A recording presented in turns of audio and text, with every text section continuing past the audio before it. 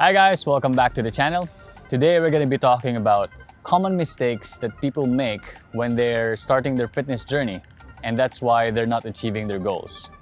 And number one of that is thinking that it's a physical over a mental battle. Number two, trying to look like someone else or focusing too much on aesthetics. Number three, following someone else's program. Number four, impatience. Number five, intensity over consistency. Number six, overwork. Number seven, not doing their homework. Number eight, not tracking their progress. Number nine, doing sit-ups to lose their belly fat. Number 10, sweating means it's a good workout. Number 11, not sleeping enough. And lastly, number 12, not drinking enough water. So keep watching until the end and I will tell you my tips and tricks on what you should do instead so you don't make these mistakes. Alright guys, so let's get on it.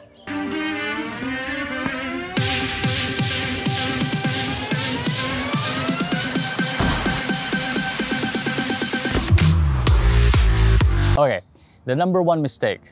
People thinking this is a physical battle over a mental battle. Guys, if you think that exercising or lifting weights is the hard part, that's where you're mistaken. The exercise or the physical part is actually the easy part.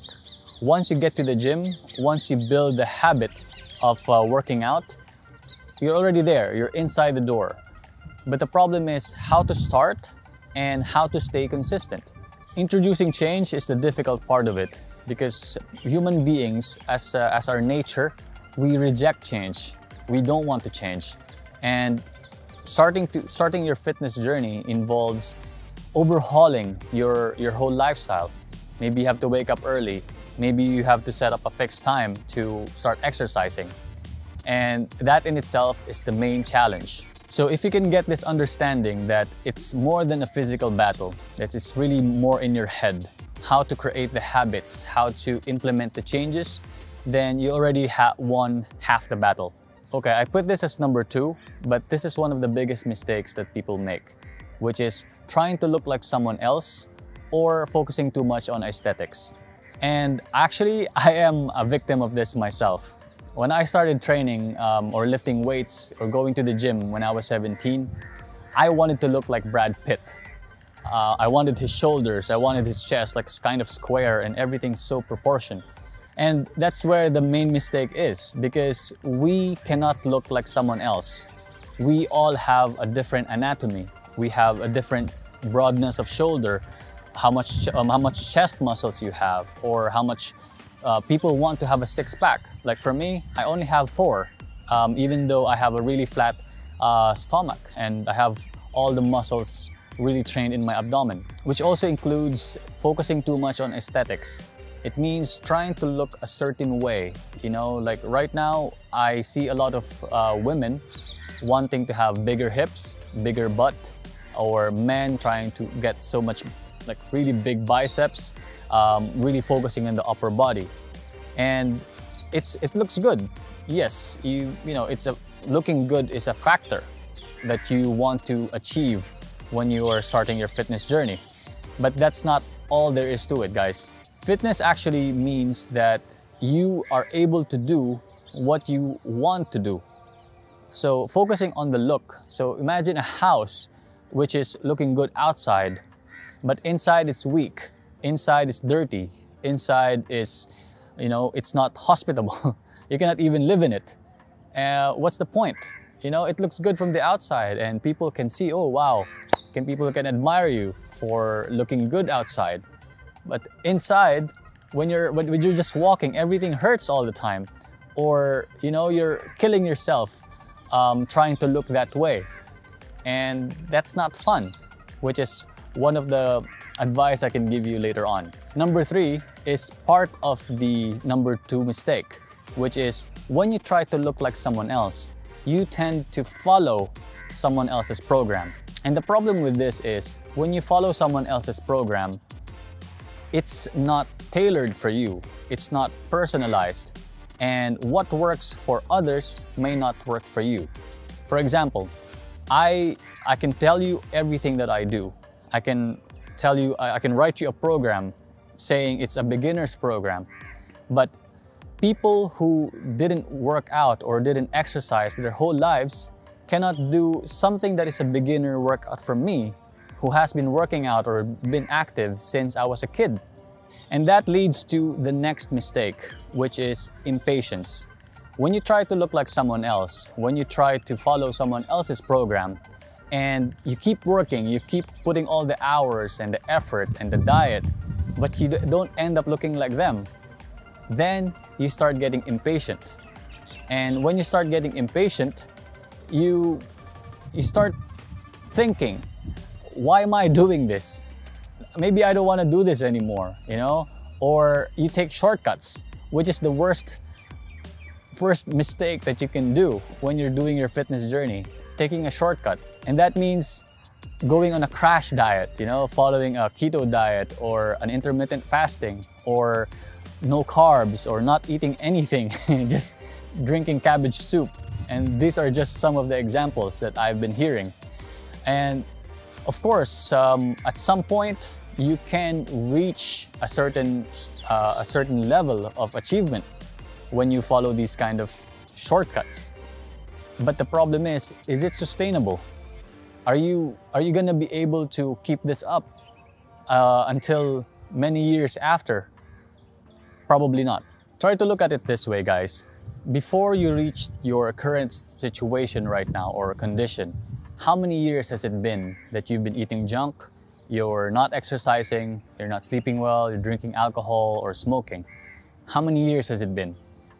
Now, do you expect to reverse all of that in a matter of two to three months of dieting or exercising? I can tell you that no. The body is, um, is very good at adapting. So, what you have achieved until now will take probably the same amount of time to reverse the whole thing. And what we normally say in the fitness industry is if you can lose the weight or if you can keep your certain fitness level for at least a year, then you're set for life. If not, then probably what you're doing is not sustainable. And you're at one point, you're just gonna fall off the wagon and go back to your old uh, lifestyle. So, mistake number five is from impatience, you tend to do intensity over consistency. So, you're you're not getting the results that you want. So you think that I have to do more and more and more. And this is very common with people who are just starting. They really hit the gym hard. They have gym buddies around, you know, they go to, let's, let's go to the gym three, four weeks, uh, four days a week. But then it's, life happens and your gym buddy starts to go away or don't, don't, come, don't come to the gym as often as you wanted um, all the intensity, all the fire in the beginning is gone. And what happens? You lose the drive. You'll say, you'll tell yourself like, uh, uh, maybe not today, maybe tomorrow. And when you're not consistent in your fitness um, fitness journey, that's when you actually don't get the results.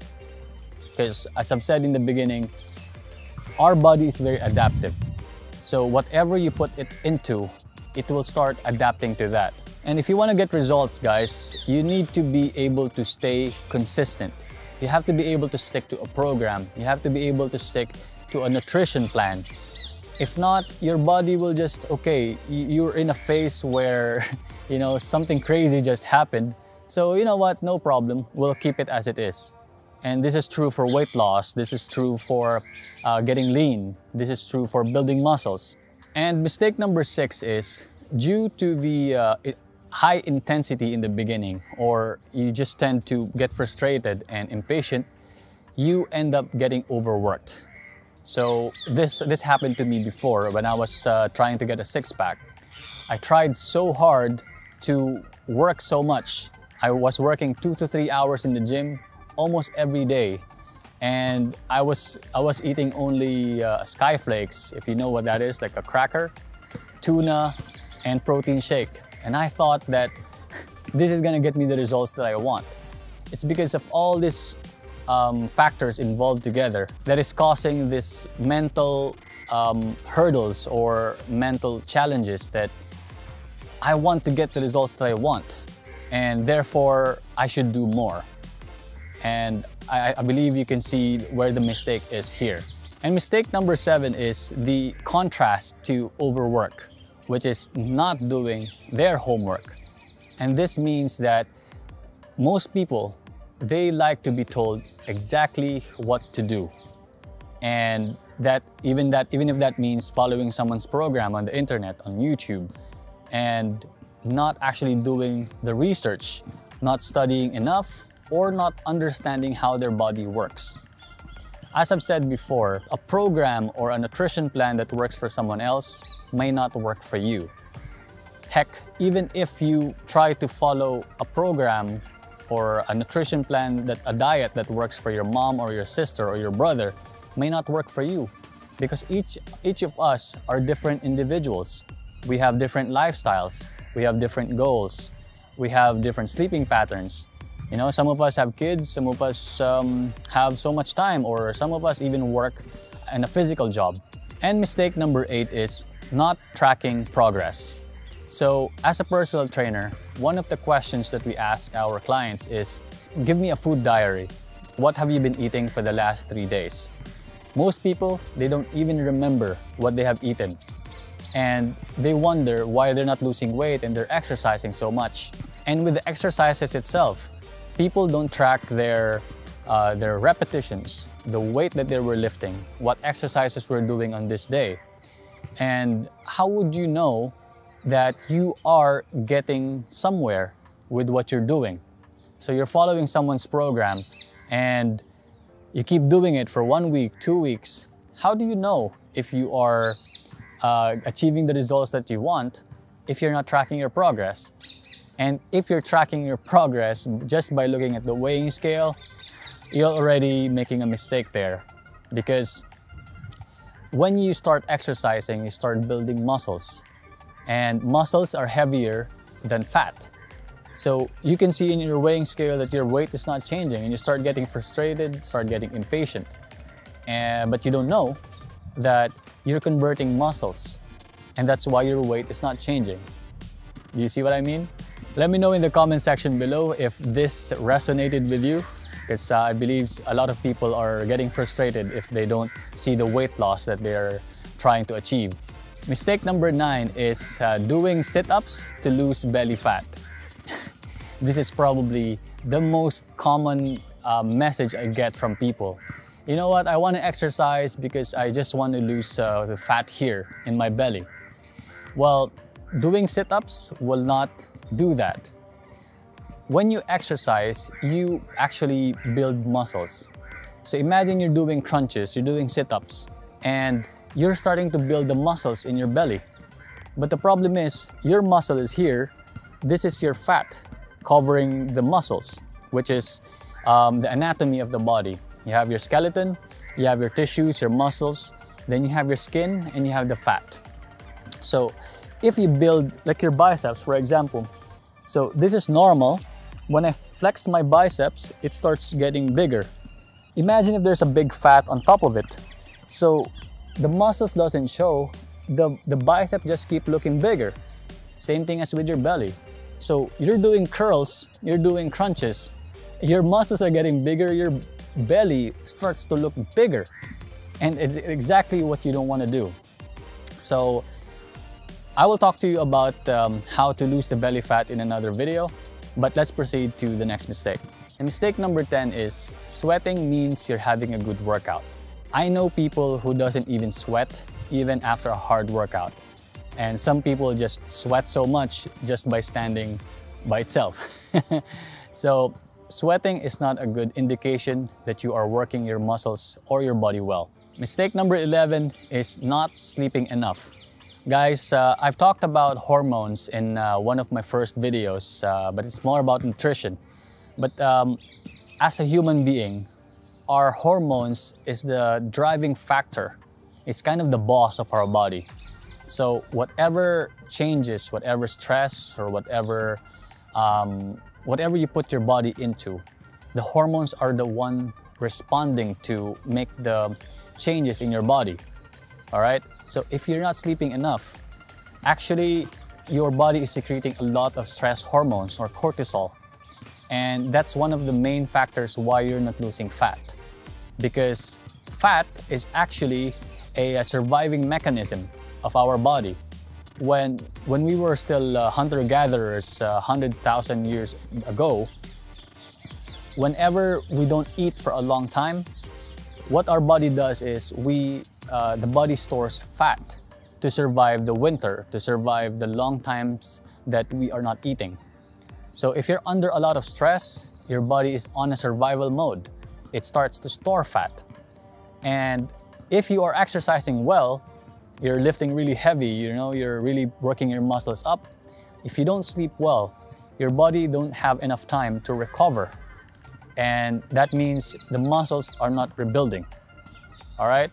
And for the last mistake, it's something to do with the body as well, or the, the anatomy of the body, which is not drinking enough water or not getting hydrated. I think this is common sense, so I'm not gonna deal with it too much.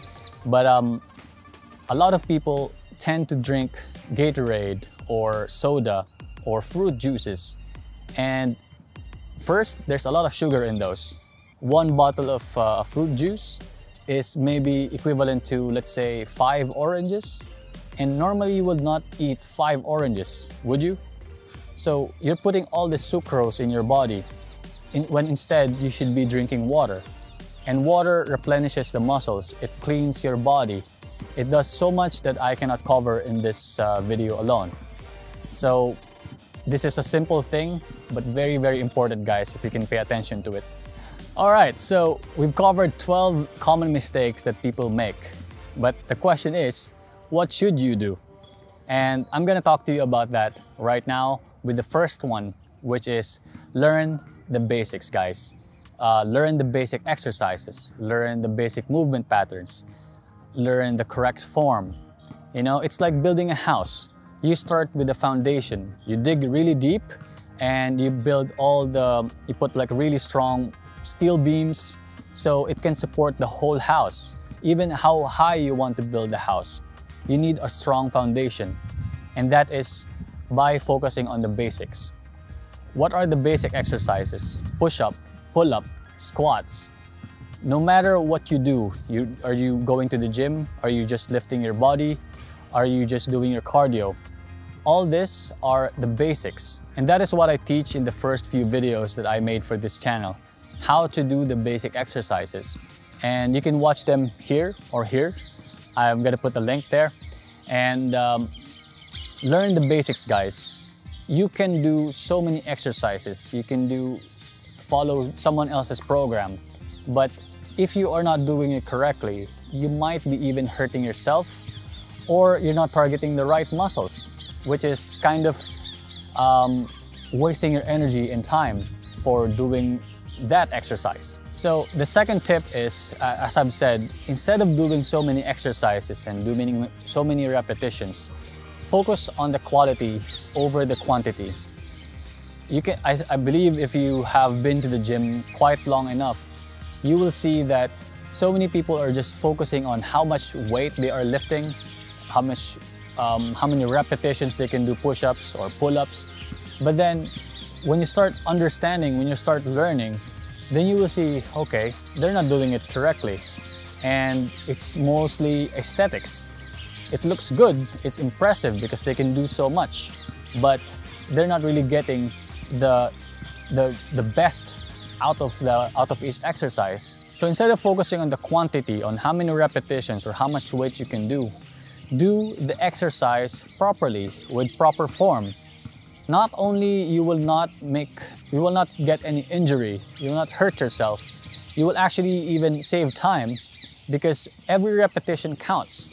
And actually if you try to do the exercise properly as you've seen in, my, in my, any of my videos you will see that one exercise or a basic push-up can be very difficult and very, be very effective to get the results that you want. And i am a living testimony of that I've been doing a lot of body weight for like six months during the quarantine from the beginning of this year.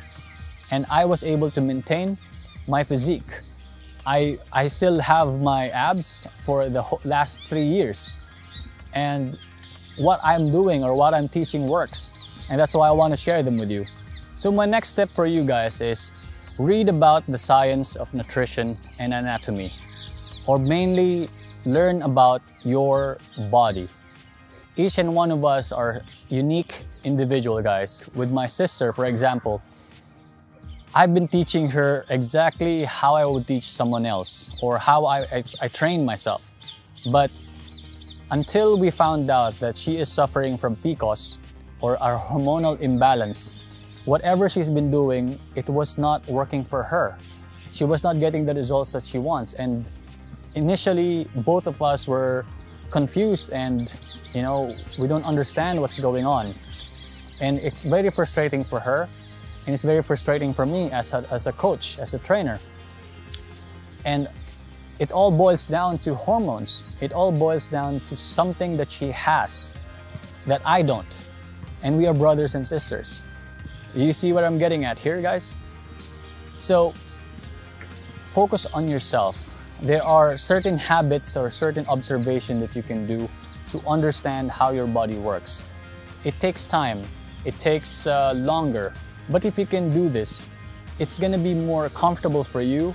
You can sustain whatever changes or new habits that you're trying to form because it works for you. You know, um, you're not trying to copy someone else, which is not suitable for you.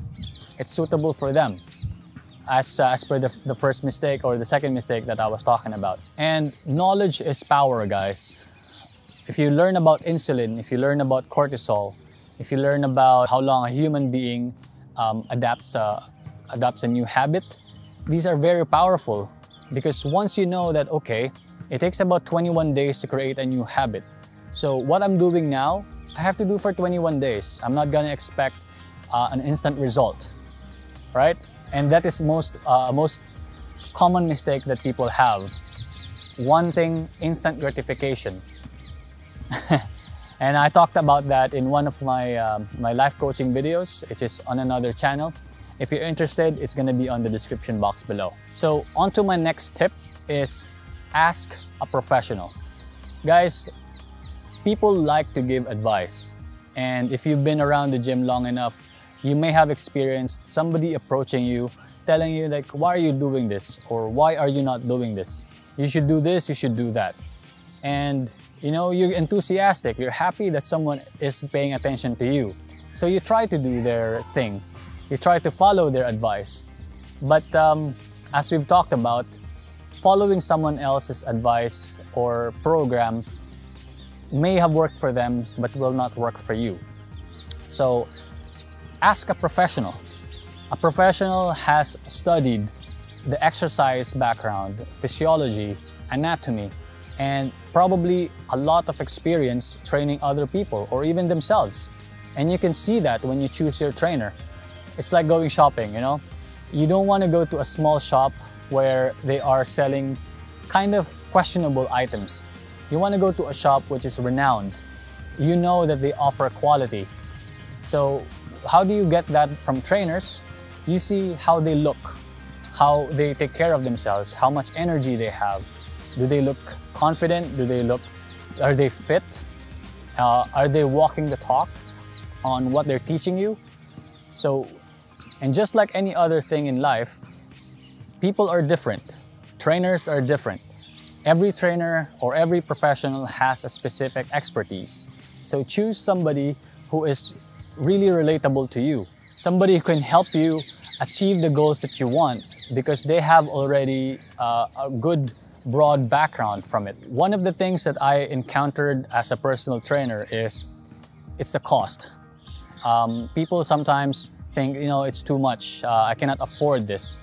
But if you think about time, and I made a video about this, if you think about your time, I myself have spent maybe a good three to five years of making trial and error mistakes because I didn't want to spend for it.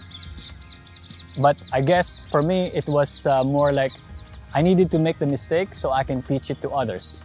And that's where I am now. If you want, of course, you can spend so much time watching all the videos and trying to find what is the best for you. and maybe doing the same mistake as I did. Trial and error. You watch something, you learn something, you implement it, see a few weeks how it works out. Does it work or not? If you can afford that, fine. You know, if you enjoy this kind of process like I did, go ahead. But if you want actual results and you want to save time, maybe you can spend a little bit of money, but you get all the information, all the advice, and proper techniques, exercise program, which is personalized for you, specially tailored for your current level, current um, situation, or maybe even the current mindset. And that's what a professional can do for you. So my next tip is, uh, as we are in the same discussion of trying uh, trial and error, it's actually part of um, the learning process or the learning curve, which is trying many different things. As a human being, we want to achieve a certain goal and we think that there is a one-way track for it. But unfortunately for fitness, it's not like that. It's, um, it's something to do with finding out what is the best suitable um, program or nutrition plan for you. And you can only find out by trying many different things or trying a different diet. Is this food good for me or not? Let's see how it affects my body after eating it. Let's see how I feel after eating a certain food. Let's see how I feel after lifting weights or maybe dancing or maybe playing sports. And fitness is not all about just going to the gym, guys. Fitness can be sports, swimming, walking, dancing, um, maybe just just cleaning the house. That's also fitness or physical activity. So find out what is what is the best for you. And my final tip is have fun. Okay? As we as, as we are talking about trying many different things, this is where you find out what kind of activity is suitable for you. What is something that you really enjoy doing? Is it lifting weights? Is it swimming? Is it uh, dancing, yoga, uh, playing basketball? You know, there are so many things to really help you get into the fitness uh, shape or level that you want. And you will be able to stay consistent if you are having fun in whatever that is. Because the fitness activity that you're doing doesn't feel like a punishment. it's an enjoyable experience. And that is what makes us a human. And that is what help, will help you to achieve your fitness goals. When you're actually having fun, when you actually don't feel like you're working for something. And this applies to not just exercise, it applies to any part of your life. All right, so there you have it, guys. Uh, these are my tips and the common mistakes that people make, uh, that which I don't want you to make the mistake, guys. And thank you for watching this video. Thank you for being with me all this time. Uh, my name is Justin. I'm a personal trainer and the Justin Lee method is where fitness is complementing your lifestyle. It shouldn't be taking away from your life. And that is what I teach in this channel and that's what I can teach you as a personal trainer. I want to help you get strong, get lean, and get fit for life. Alright guys, so if you have any specific questions, leave a comment below or send me a DM. Uh, my contact details is in the description box below. Um, I do personal coaching and have a good life, have a good workout if you're just going to the gym. And I'll see you in the next videos. Peace and love guys.